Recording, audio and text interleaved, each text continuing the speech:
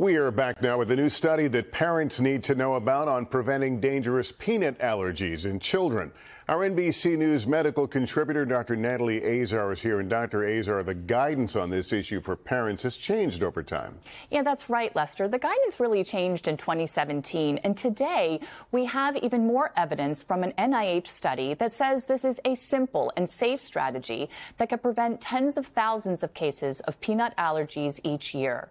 Researchers found that introducing peanut products from infancy to age five reduced the risk of peanut allergy by as much as 71% in adolescents. The key is to follow the guidelines. If your infant has severe eczema or egg allergy, it may be possible to introduce peanut containing foods at four to six months at home or in a doctor's office to reduce the risk of developing the allergy.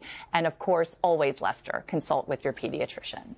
Thanks for watching. Stay updated about breaking news and top stories on the NBC News app or follow us on social media.